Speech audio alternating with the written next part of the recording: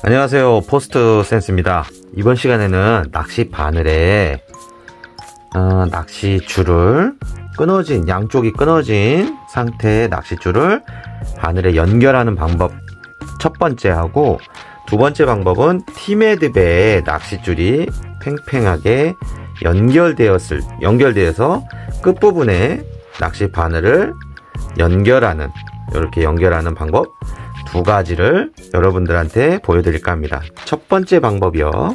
첫 번째 방법은 양쪽에 선이 끊어진 상태죠. 낚시줄이.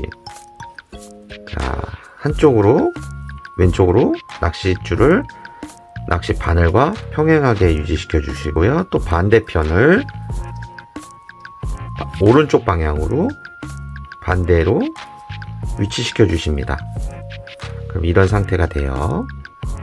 그리고 이 부분을 꽉 잡아 주셔야 됩니다. 이 부분을 양쪽으로 잡으신 상태에서 자 이쪽에 오늘 원이 있죠. 원이 있는 상태에서 요령이 있습니다. 첫 번째 첫 번째는 이 선을 안쪽으로 당겨 주셔야 돼요. 안쪽으로 이렇게 당겨 주세요. 당겨 주시고 이렇게 안쪽으로 당겨 주신 다음에 힘있게 힘있게 힘을 주시면 얘 선이 같이 돌아가지 않게끔 하고 안, 상태에서 안쪽으로 밀고 위로 힘을 주시면 얘가 이렇게 같이 돌아와요. 그러면 얘는 밑으로 그냥 위치시켜 주시고요. 이 상태에서 힘이 한번 완전히 들어간 상태죠. 이 상태에서 이 손을 중지로 잡고 이렇게 돌려주시면 돼요. 이런 식으로. 그러니까 처음이 중요한 거죠. 이렇게 세 번이든 열 번이 뭐 여덟 번이든 하는 거는 뭐 자유시고요. 이게 다 된 거예요. 근데 중요한 건 처음에 이렇게 대각선을 양쪽으로 위치시켜서 안쪽으로 당기고 안쪽으로 이렇게 당긴 상태에서 이 선이 돌아 같이 돌아가지 않게끔 이렇게 해주시는 게 가장 중요하거든요. 처음에 힘있게 돌리셔야 힘있게 된 상태 돌리셔야 그 다음부터 이 선이 같이 돌아오지 않습니다. 그게 중요한 것 같아요. 이렇게 감아 주신 상태에서 이 선의 끝부분에 나왔던 선이 있죠. 두 번째로 첫 번째 말고 이 낚시 바늘 바깥쪽 오른쪽 부분을 잡아 당겨 주시면 돼요. 그냥 그러면 같이 딸려 들어와요. 낚시 줄이 길어서 이 상태에서 쭉 풀어주시고요. 이렇게 이런 식으로 됩니다. 이런 식으로 되고요. 그러면 끝난 거예요. 여기를 잘라주시면 됩니다. 그러면 낚싯줄이 이런 식으로 완성이 되는 거죠. 자, 신발끈이지만 어, 여러분들 이해를 쉽게 하기 위해서 일부러 약간 두꺼운 신발끈으로 설명을 해드린 거고요. 이게 첫 번째 방법 완성한 겁니다. 여러분들 첫 번째 방법 궁금한 사항 있으면 댓글 남겨주시고요. 반대편도 똑같은 방법으로 다시면 됩니다. 자, 이번에는 팀헤드보로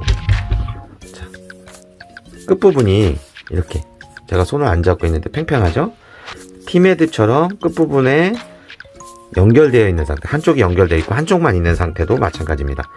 바늘을 왼손에 위치시켜 주시고 이쪽으로 바늘이 가게끔 한 상태에서 얘는 이렇게만 하면 할 수가 없겠죠?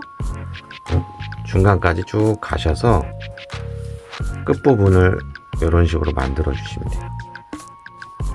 자 여기는 마찬가지다. 이 부분은 끝을 크로스해서 어차피 양쪽 다 크로스가 된 상태예요. 똑같이. 이런 식으로. 크로스가 된 상태에서 끝부분. 낚시 바늘의 끝부분을 잡으시고 마찬가지입니다. 이 선이 돌리는데 그냥 돌리는 게 돌리는 것보다 밀착된 상태에서 뒤로 밀착된 상태에서 이 선을 약간 누르시고 돌려주세요. 그리고 힘, 힘을 유, 평행을 유지시켜 주시고 그냥 이렇게 나와 있죠. 그러면 힘이 들어간 상태에서 또 돌려주시면 돼요. 그리고 또 돌려주시고 또 돌려주시고 또 돌려주시고.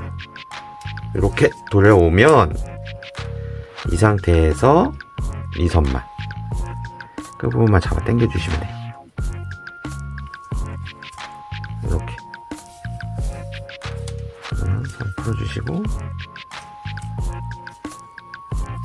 낚시 바늘이 이 상태에서 쭉 잡아 당겨 주시면 팽팽하게 유지되고 끝부분으로 가서 이런 식으로 유지가 되는 겁니다. 완성이 되는 거고요. 그리고 여기를 절단해 주시면 돼요. 자, 자, 첫 번째 방법은 양선이 대, 끊어져 있는 상태고 한, 이쪽은 한쪽만 한쪽이 팀헤드부로 연결된 상태에서 끝부분에 연, 낚시 바늘 연결하는 방법을 여러분들한테 소개시켜 드린 겁니다. 자, 어떻게 도움이 되셨나 모르겠지만 어, 두 가지 방법 다 낚시할 때 굉장히 기본적인 거고요. 여러분들한테 낚시하는 방법, 그러니까 여기 매듭을 칠때 포인트, 핵심 포인트가 뭔지 그 부분을 좀 강조하고 싶어서 여러분들한테 영상을 찍어 봅니다. 자, 행복한 하루 되시기 바랍니다.